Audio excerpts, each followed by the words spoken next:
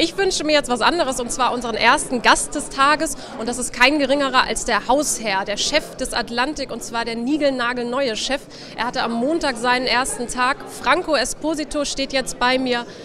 Hallo Herr Esposito, schönen guten Tag, herzlich willkommen auf den Neujahrsempfang, aber in Ihrem Haus natürlich und alles Gute für Sie zum Start, frohes neues Jahr. Danke. Ähm, Herr Esposito, haben Sie denn schon mit Herrn Lindenberg einen Begrüßungseierlikör getrunken? Das gehört zu unseren Traditionen hier im Haus und das habe ich gelernt, da sprechen wir nicht drüber. Tradition muss man wahren. Das kann ich verstehen. Sie kennen das Haus ja sehr gut, nämlich Sie haben hier in den 80er Jahren Ihre Ausbildung gemacht. Wie ist es denn jetzt wieder nach Hause zu kommen?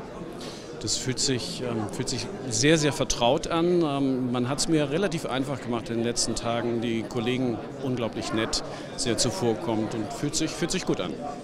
Was hat Sie denn damals schon am Atlantik so sehr begeistert, dass Sie jetzt unbedingt auch wiederkommen wollten?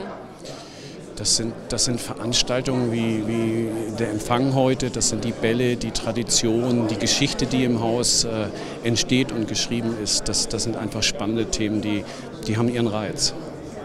Und wird das Atlantik so in dieser Form als Traditionshaus bestehen bleiben oder haben Sie hier ganz neue Pläne mit diesem Hotel? Also die Tradition, wie eben schon gesagt, die wollen wir wahren. Das, das ist ein ganz, ganz wertvolles Thema ähm, für dieses Haus. Sicherlich werden wir uns ähm, darauf einstellen müssen, uns für die Zukunft neu aufzustellen, anders aufzustellen. Die Hotellerie ist in Bewegung, die Stadt ist in Bewegung und da werden wir ähm, das kombinieren mit, mit den Traditionen, die dieses Haus zu bieten hat.